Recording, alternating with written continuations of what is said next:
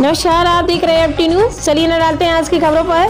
सिद्धार्थनगर ज़िले में सेम और अभिलोर के पेड़ों की कटान जोरों पर हो रही है। ज़िले में आपको कहीं भी सड़क किनारे ट्रकों में इन लकड़ियों को लोड करते आपको लोग मिल ही जाएँगे। यूँ तो गुटेर के पेड़ों की कटान उत्तर प्रदेश में फ्री है, लेकिन यह जिला बाढ़ प्रभावित जिला है। ज़िले में बहने वाले बूढ़ी राप्ती नदी और राप्ती नदी पर बने बंधों के किनारे पहले सरकारी धन खर्च कर बंधों को कटान से बचाने के लिए बिलोर गुटेर का वृक्षारोपण किया गया।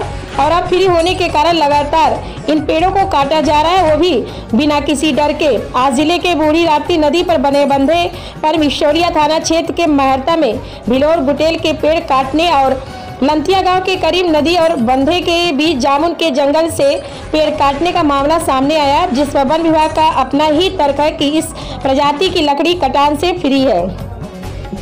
इसी का फ़ायदा उठाकर लोग इस समय लगातार कटान कर रहे हैं। इसमें हमारे भी, भी पेड़ काट लेते हैं लेकिन पता नहीं चल पाता है। ऐसे में ज़िले की वो सुबह में सड़क पर निगरानी रखे और वो रख भी रहे हैं। बारह लोगों के खिलाफ कार्रवाई की गई है और दो लाख के करीब जुर्माना भी लगाया गया है। ऐसे में सवाल तो बनता ही है कि वन विभाग के जिम्मेदार सड़कों पर निगरानी रखें और लकड़ी माफिया, उन पेड़ों की भी कटान कर ले जो बंधों पर कटान रोकने के लिए पहले लगाया गया।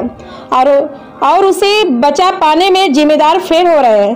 तो क्या फ्री प्रजाति के वृक्ष लगाना ही गलत था या इनकी निगरानी न कर पाना गलत है? सर, पूरे ज़िले में नदी के किनारे बंधे लगे हरे पेड़ों को लगातार काटा जा रहा है, इसको लेकर की टीम क्या है?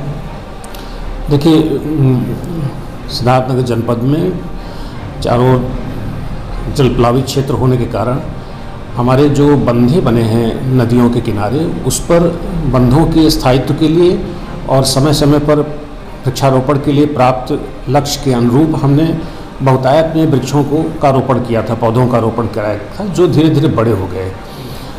उन वृक्षों से जिनमें अधिकांश गुटेल के वृक्ष हैं, जो जल प्रभावित क्षेत्र में भी सर्वाइव करते हैं, उनके बीज यहाँ वहाँ गिरते रहे।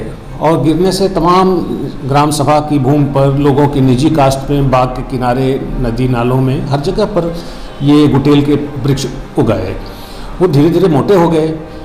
अब उसमें तमाम वृक्ष जो इस वक्त काट रहे हैं, शायद उसकी कोई उपयोगिता निकल आई है, क्योंकि वो वृक्ष हरियाणा और गुड़गांव कहाँ ले जा रहे हैं लोग? कोई उन्होंने मैचस्टिक या पैकिंग कोई चीज़ बना रहे हैं उसका।